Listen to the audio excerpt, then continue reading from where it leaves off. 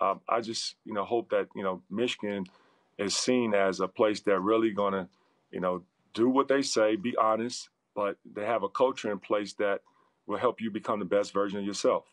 I also think it helps that you got Phil Martelli as, a, as an assistant coach. That man did a guy. I covered him for years in yes. Philadelphia. Him coaching at St. Joe's. That's an outstanding basketball mind you got on your bench. Make no mistake about it. Phil, Phil Martelli can coach. Uh, with that yes. being said, on the basketball court, when we look at Michigan right now, we hear Gonzaga, we hear Baylor, we uh, obviously Villanova. Uh, I'm, I'm, sorry, Illinois. You lost to those guys, uh, but then there's Michigan.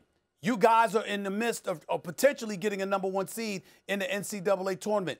Your basketball team, just specifically on the court, what are your strengths right now? Why are you so confident in what this team can end up doing in pursuit of a national championship? Well, you know, a lot of people talk about the X's and O's. Um, I think you know what helps with our success is how connected we are um, as a group, mm-hmm. um, and that that connected that connection comes from you know, the uh, identity on the offensive end and defensive end, the belief that they have for one another on the floor, the trust that they have for each other, and then more importantly, the trust that they have in the staff with our preparation. And you touched on it earlier with Coach Phil Martelli, uh, Saddi Washington, and Howard Eisley. You know, all of those guys are head coaches. Uh, I know Saddi Washington and Howard Eisley are going to be a head coach on the collegiate level uh, very, very soon and uh, Coach Phil Martelli, who has been, you know, head coach at, at St. Joe's for 26 years and uh, been an assistant there for 10 years.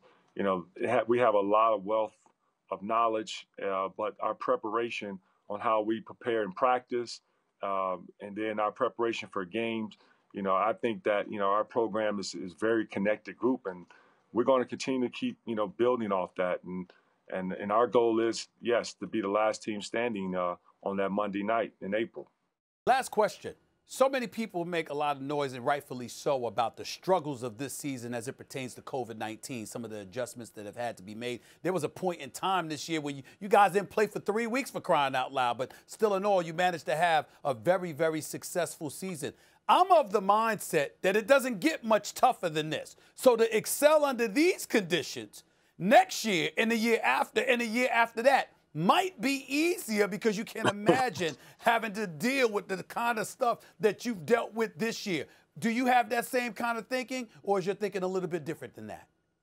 Well, I, am gonna tell you this, man. I gotten older uh, over the last 18 months. Uh, more gray hairs, less sleep, uh, more bags underneath my eyes because of what you just touched on. It's been very challenging to have a season during a pandemic and I admire and respect how Kevin Warren, the Big Ten commissioner, as well as Warde Manuel, uh, on how they've made all this work. Uh, and I, I, really give you know a lot of credit to our players on the sacrificing and being as disciplined as they were.